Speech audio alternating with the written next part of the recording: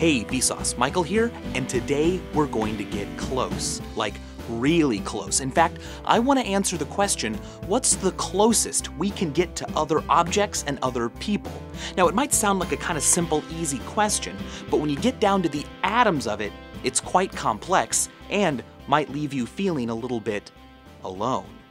When I go like this, my fingers, for all intents and purposes, are touching, but at an atomic level, they're not. That's right, in fact, if you're sitting in a chair right now, your body is technically not touching the chair at all. Instead, you are hovering above the chair by some tiny, tiny atomically sized gap, something too small for us to even see, but it's there. And it's caused by the fact that your butt and the chair are made out of atoms. Now, as we all know, the matter that we deal with every day is made out of atoms, and an atom is a nucleus surrounded by an outer shell of orbiting electrons. Now, when two atoms get close to each other that aren't going to bond or chemically react, they have trouble touching each other. Why? Because electrons repel one another, because they have the same charge.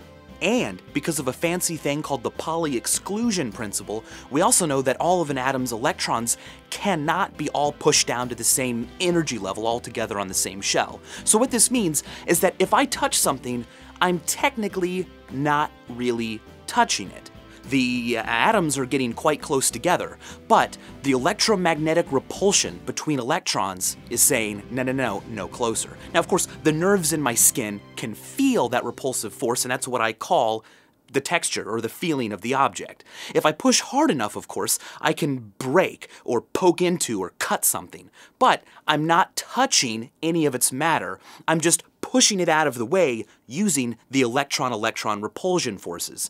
Even though, so you can cut things really easily like this, the scissors never touched the card. This is where it gets depressing. What all of this means is that when you kiss your girlfriend, or pet your dog, or hug your grandmother, you're not actually making contact with their matter. You're not technically touching them. You're just feeling the repulsive force of their electrons. But maybe there's hope. Let's just avoid electrons altogether and ask ourselves what can we do to affect the nucleus of someone else's atoms? Maybe we can do that? You're gonna have to be a little bit radioactive if you're gonna wanna do this. And luckily, people are a little bit radioactive. In fact, if you sleep in a bed with another person for an entire year, your body is actually exposed to one millirem more radiation than someone who sleeps alone. Now, we are talking about tiny, tiny amounts that really don't affect your body at all, but still, they're there. How do they get there? Well, carbon 14 is in the air, and potassium 40 is in bananas. That's right, bananas have a really high potassium content. In fact, any food that has a lot of potassium in it, like Brazil nuts, is going to act the same way. All that potassium's fine and dandy, but about one out of every 8,000 or so potassium atoms is a radioactive isotope of potassium. In fact, if you were to eat 600 bananas, it would be the equivalent of getting a chest x ray. Okay, cool. So I am a little bit radioactive. Does that mean that if I if I hug someone really close that some sort of radioactive ray might come out of my body and go into someone else's body and get absorbed into a nucleus of one of their atoms and and then we can really finally say that we touched on a fundamental level?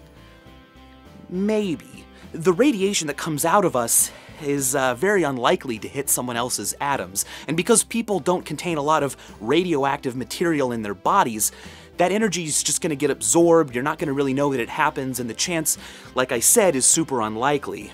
So maybe we should go back a little bit and uh, talk about chemical reactions. Back when I mentioned that atoms have trouble touching, they are a little more friendly if they get together and, you know, share electrons. Now, this kind of stuff is happening all the time. When I eat food, my body is chemically reacting with that food to take out the nutrients, get rid of the stuff I don't want. But short of being a cannibal and eating someone's arm or being a zombie, how can I get chemically reactionally close to a person? Well, luckily, there is a thing called birth. When you're growing inside your mother, your father and mother's DNA are all working together in chemical ways to create you because they're sharing electrons, it seems at least more like a touch. I guess what I'm trying to say is that in a way, your parents and your children are the only people you can know for certain you've come the closest to actually touching. And that's touching. And as always, thanks for watching.